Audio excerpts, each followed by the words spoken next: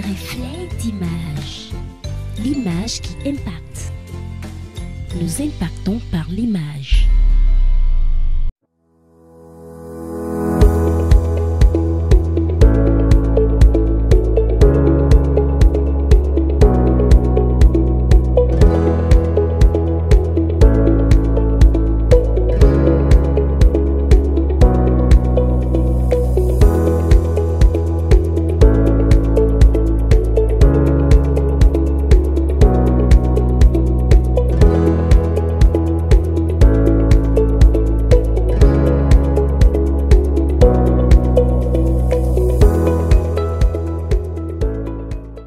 Les deux projets de loi ont été déposés sur le bureau de l'Assemblée nationale le 19 décembre 2023, au moment où nous étions à la phase d'examen du projet de loi de finances exercice 2024.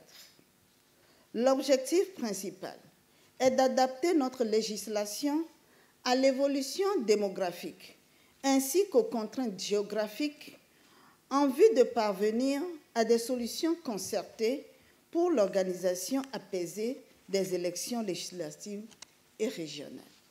Avant d'ouvrir la présente session extraordinaire, je voudrais rendre hommage au président de la République, son Excellence M. Foressa Zimnania Singbe, pour la dynamique constante impulsée aux réformes institutionnelles visant la consolidation de notre démocratie.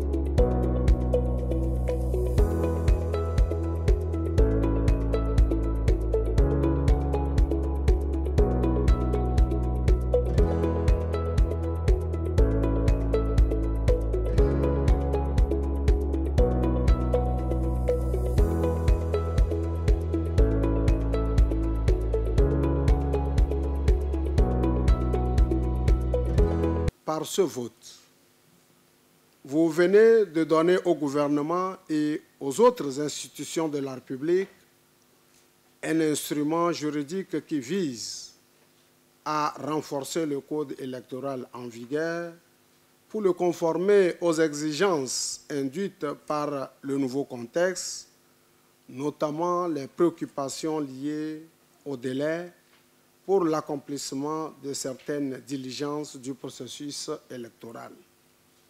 Je voudrais une fois encore vous assurer que sous l'orientation et la haute impulsion du chef de l'État, le gouvernement mettra tout en œuvre pour un bon usage de ces instruments juridiques pour l'organisation des élections apaisées, justes, équitables, inclusives et transparentes.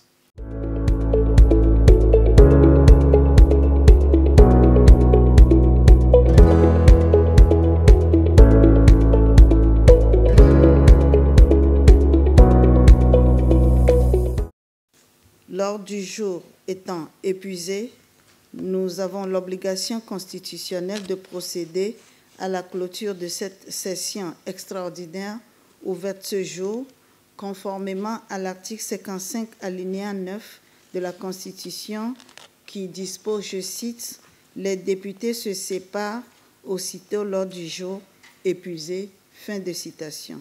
Sur ce, je déclare close la première session extraordinaire de l'année 2024.